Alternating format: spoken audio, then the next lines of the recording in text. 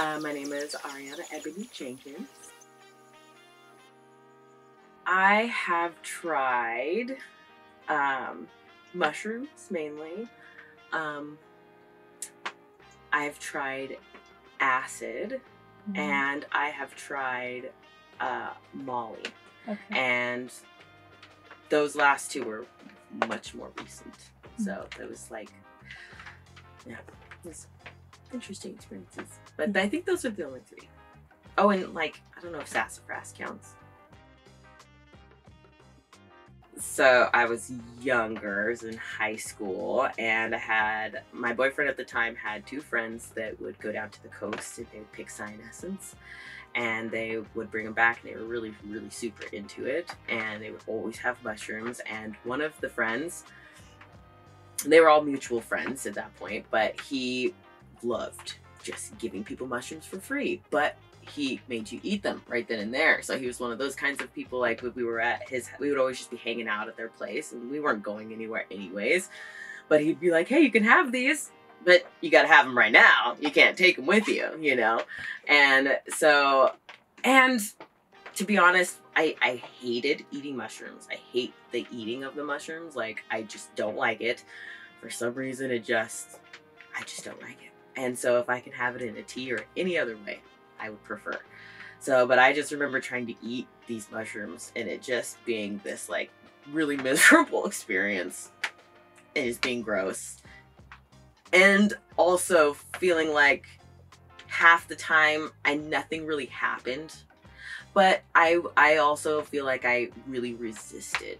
Um, I remember telling myself I have very high tolerance, and I think the entire time I was just very good at resisting what was happening and didn't realize maybe how affected I was, and which I started to realize later in life. But yeah, so but it wasn't the best. It really wasn't the best. It wasn't in any way like an intentional medicine way. It was really just like this kind of like flippant, like, oh, let's just eat these mushrooms because they're supposed to get you high and I'll, I want to, you know, I don't, whatever, let's just get high.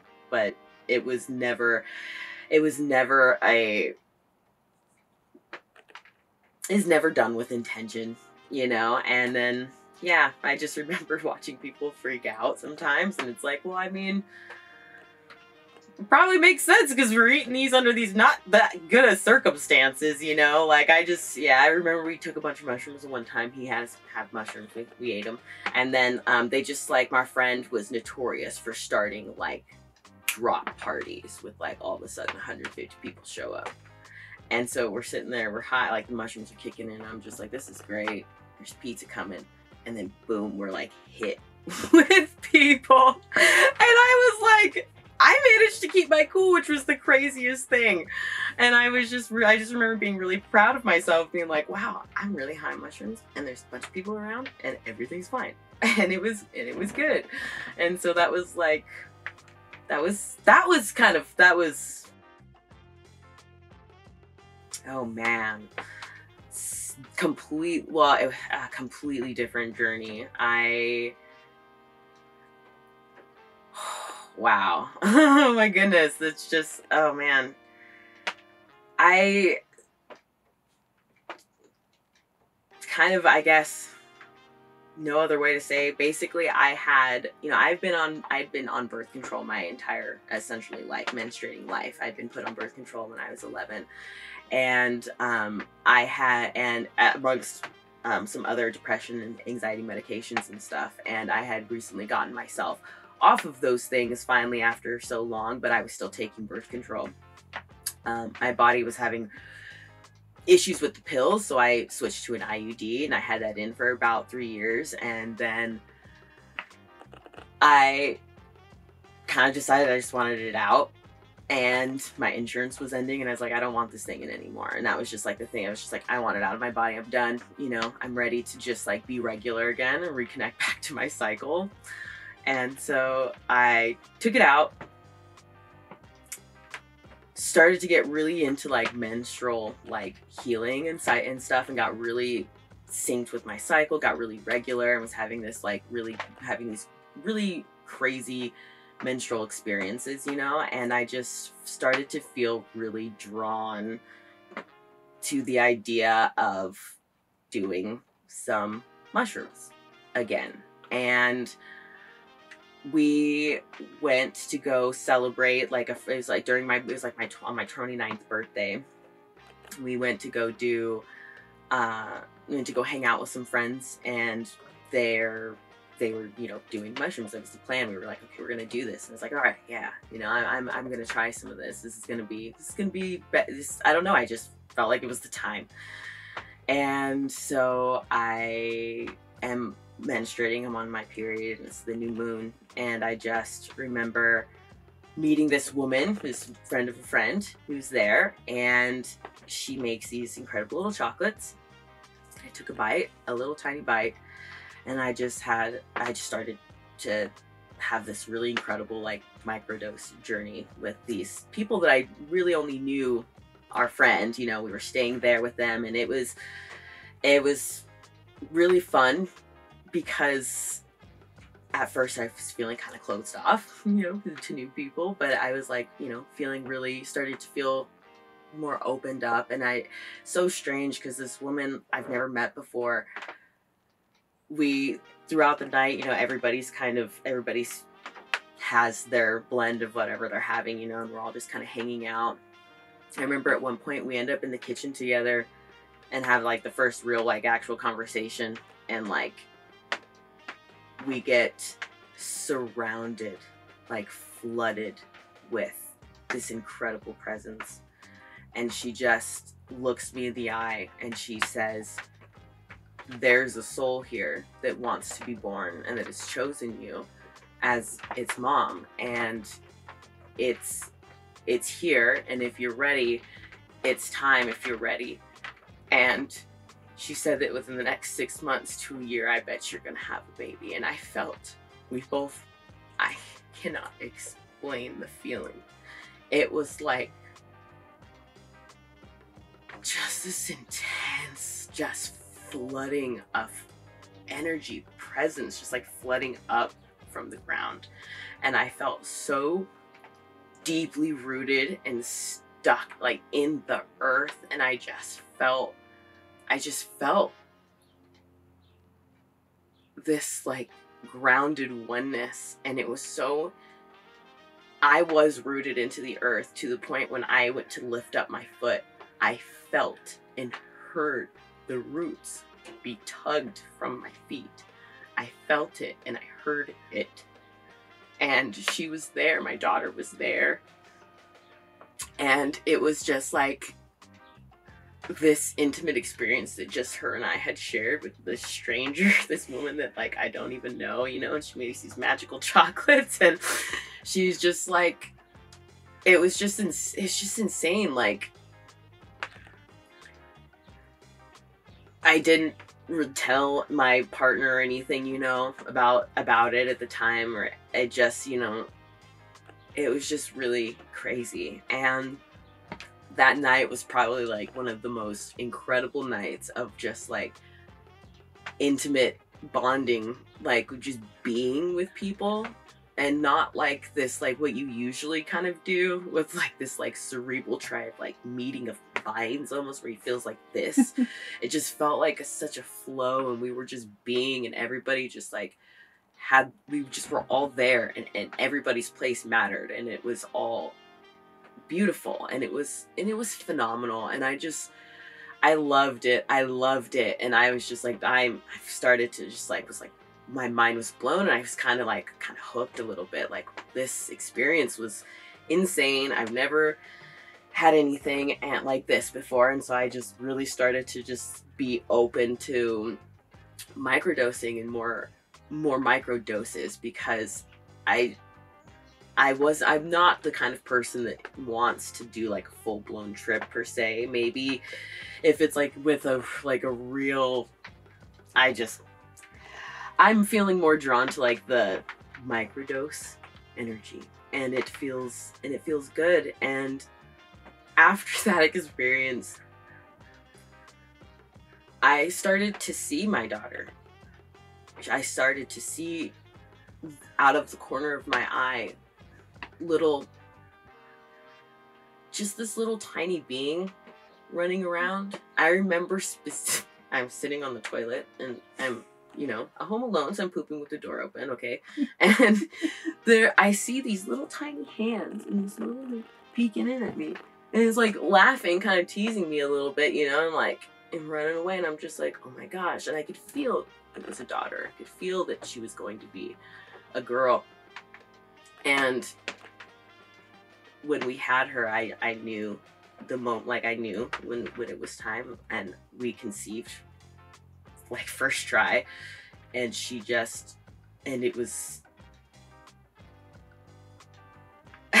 six months to a year after that we got in lockdown you know we got you know covid happened and we were in lockdown. And that situation happened you know that experience i have have happened in like september october of 2019 and got pregnant in april 2020 and so it was pretty much right on time you know we got pregnant and i first thing I did when I, I knew I got pregnant was I, I called the woman that I had that experience with. And, you know, two, two weeks after the fact I'd gotten, con, you know, con- confirmation, yes, I am pregnant. And she's like, and I told her, and I was just like, hey, guess what? I'm pregnant. She's like, you know what's so funny? About two weeks ago, I thought about you. And I thought about that experience that we had, and I was wondering something, and I was just like, it's exactly when she was conceived. and you know, we don't talk much, you know, like her and I, we're not close, but we are gonna always forever be bonded by this like incredible experience that we had.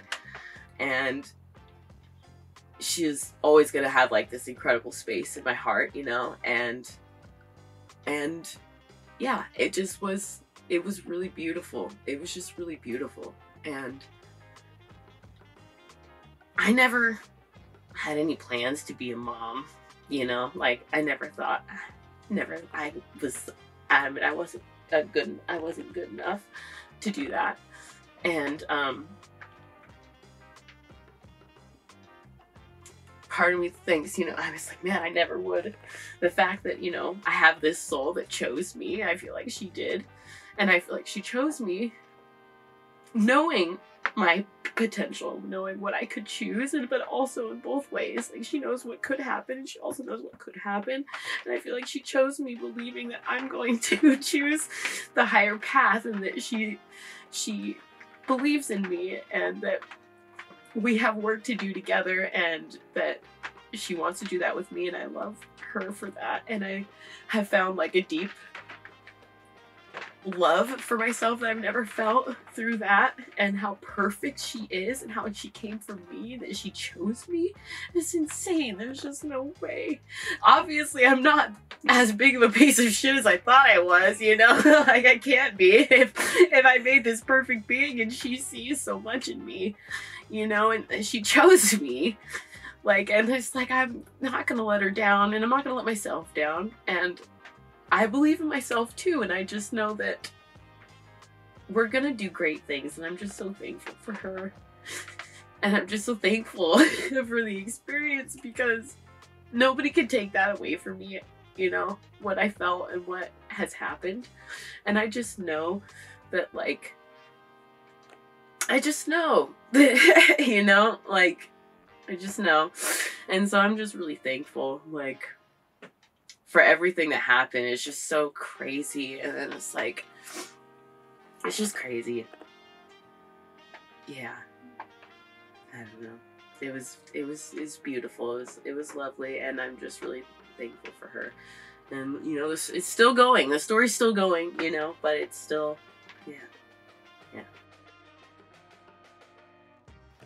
I, most of the time, they're like really intimate. Or I, um, do it by myself. Mm-hmm. Um, which I don't think now is much of an issue, but like before, people, I feel like people were just like, what? Don't take that stuff on your own. But I just felt really called to. Mm-hmm. And so, and beautiful things happened. And so, like, regarding my personal growth. So it was really good. I've just had so many small, like, experiences of just like even just like learning like emotional intelligence, emotional regulation, and things like that, coping skills that I didn't learn because I spent so long medicated and not learning how to cope.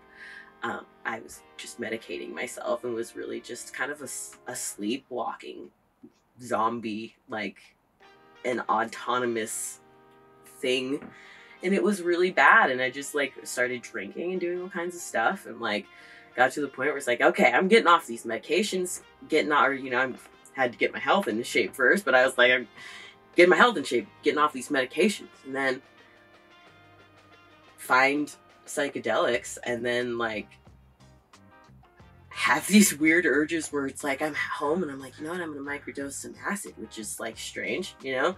It's like I generally I think I probably, I think I was hoping, I liked my acid because it seemed like it was easier to dose out and kind of know how much you're going to get because, well, I don't know if that's even the, the, the case. I just kind of thought that to myself, you know, I was like, maybe it'll be easier to, to microdose in more even amounts, you know? I have these little tabs, I just take a little tiny bite or whatever. And doing my workout, I was like, wait, go ahead and try some of that really quick. Go do some acid, really, just just a tiny little bit. It's fine. Go back, do my workout, and then it hits me. It's like, whoa, oh my gosh, I'm all by myself. I just did acid by myself for the like first time, and I'm it's hitting me really hard and fast. I'm super high, and I'm just like, okay, whoa, you gotta chill out, man. I just remember, just like, I just remember finding the ability to just like. Uh, man, something I've never been able to like some to find the ability to just be like, whoa, it's okay. Just like calm down, go take, go step outside, take some breaths, and just like you just are forced to be present. And it really what it feels like is like all of this stuff that I've been literally tuning out becomes deafening. Like all these thoughts and all this stuff that's just constantly going that I'm just like trying to just like not deal with all the day by just doing stuff or ignoring it or numbing it.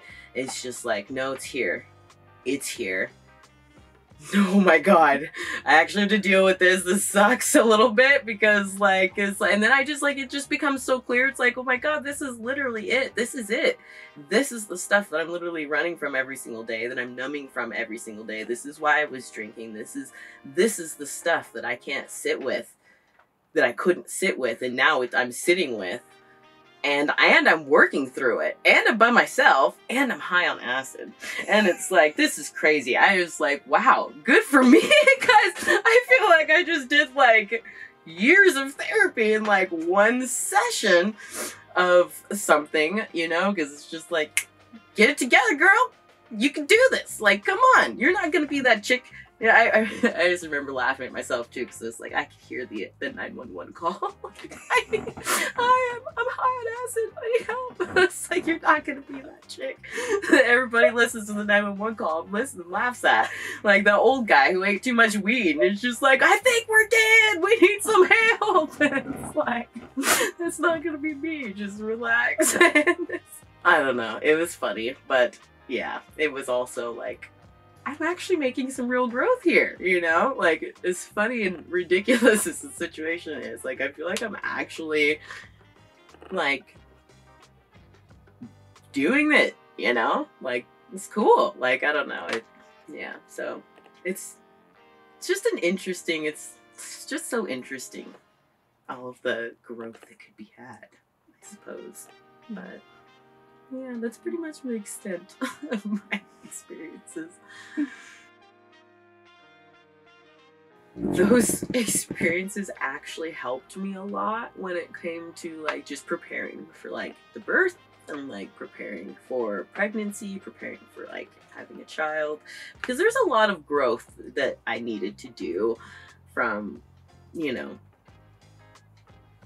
still still working on it, you know, but there was a lot of things that like I feel like it really helped me move through that just needed to be moved through and it was time and I was ready. When I got pregnant, I just was like I'm I'm not having I don't want any medications. I I want to have this baby just I want to feel everything. I want to feel everything, you know, and it really did actually help me so much to accomplish that because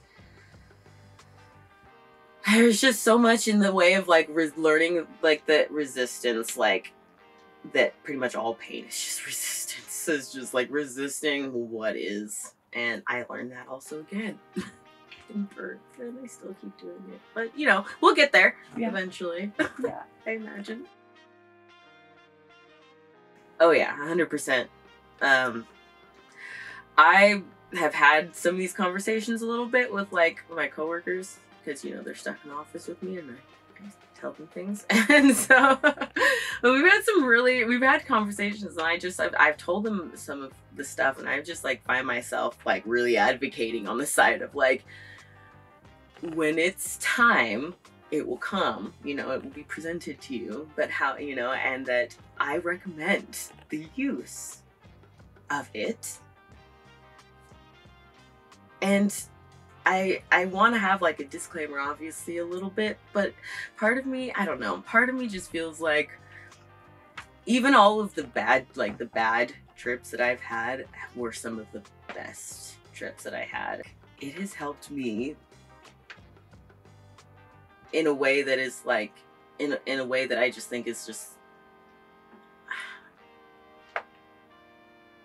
it's like I can't it's, it's such a such a mass amount. It's just what's like what's a big word? What's a word for big? like a like a huge, huge, huge, like insurmountable. It's just like massive.